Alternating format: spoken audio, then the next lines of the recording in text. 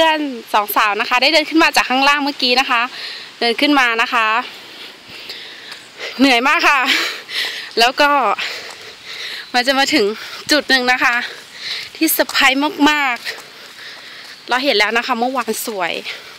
วันนี้เราอยากจะให้เพื่อนๆเห็นด้วยนะคะขอเวลาหายใจนิดนึงนะคะ มันเหนื่อยจริงๆค่ะ เห็นไหมคะเพื่อนๆมีหมอกบนยอดเขา ของเขาข้างล่างคือหมู่บ้านนะคะ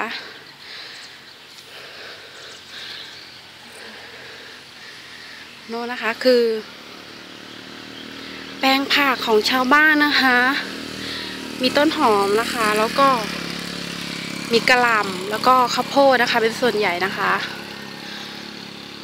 เพื่อนเราเหนื่อยมากหัวใจเต้นเร็วมากเลย ที่นี่สวยจริงๆค่ะ ยังมีอีกนะคะ นี่แค่นิดเดียวนะคะ เดี๋ยวเราจะไปดูกันนะคะ